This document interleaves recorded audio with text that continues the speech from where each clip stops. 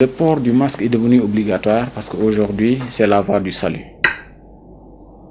Je rappelle que pour ce qui est du coronavirus à l'état actuel des connaissances, il y a deux types de transmission. Il y a le premier type de transmission que l'on appelle la transmission gouttelette. Cette transmission gouttelette, c'est quand la personne tousse, quand la personne éternue ou même quand la personne parle. Il y a une émission de gouttelettes et ces gouttelettes sont bourrées de virus. Aujourd'hui, si on met le masque et qu'on mette normalement le masque, que ça ne soit pas en dessous du menton ou bien que le nez sorte ou bien la bouche. Donc quand on couvre, le masque couvre le nez et la bouche, donc cette émission-là est arrêtée. Donc il n'y a plus de gouttelettes qui s'envolent. Donc cette transmission aérienne est vraiment à peu près coupée. Et ça, c'est le mode de transmission le plus important. C'est la transmission gouttelette. Donc si on met le masque, cette transmission gouttelette est coupée, cette chaîne de transmission. Le deuxième mode de transmission, c'est ce que l'on appelle la transmission contact, qui se fait par l'intermédiaire des mains. Parce qu'aujourd'hui, euh, quand on est atteint du corona, c'est comme une décharge électrique. Aujourd'hui, si je touche à la table, je fais une décharge de virus sur la table. Vous venez toucher, vous avez ces virus-là. Maintenant, si vous ne vous lavez pas les mains, avant de les utiliser au niveau des trois portes d'entrée qui se situent au niveau de la figure, que je rappelle, qui sont les seules portes d'entrée du virus dans l'organisme. Aujourd'hui, le virus ne peut pas passer par les oreilles, ne peut pas passer ailleurs qu'autre que les trois portes d'entrée qui sont au niveau de la figure, c'est-à-dire les yeux, le nez et la bouche.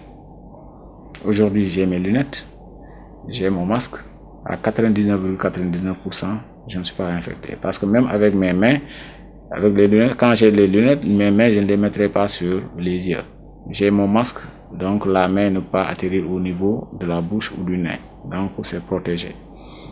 Dire également que quand on se lave les mains, on se débarrasse de ces virus-là. Quand on n'a pas de l'eau ou du savon, ou bien quand on est quelque part où on ne peut pas utiliser de l'eau et du savon, on utilise le gel hydroalcoolique.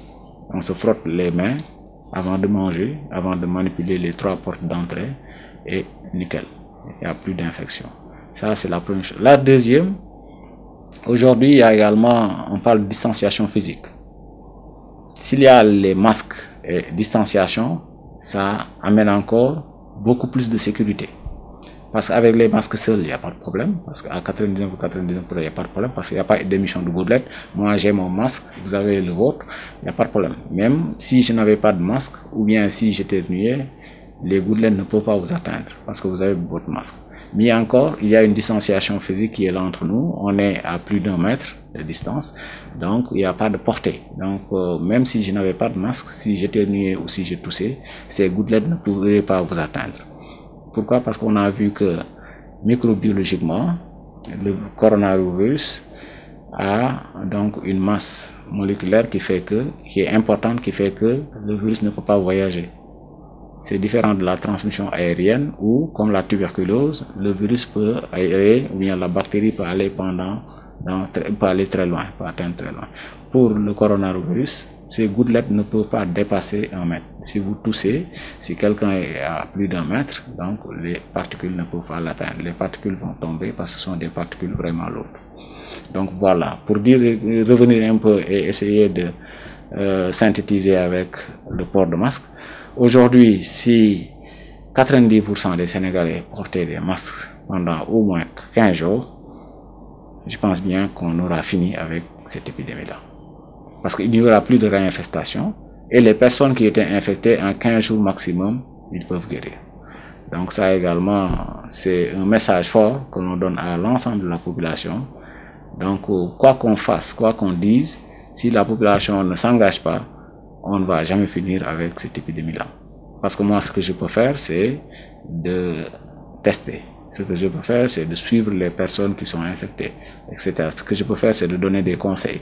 Mais l'appropriation va dépendre de la communauté. Et c'est important d'avoir cette appropriation parce que aujourd'hui, s'il y a cette appropriation avec le respect des mesures barrières que nous demandons, dans 15 jours, tout le monde le fait dans 15 jours, on va finir avec cette infection.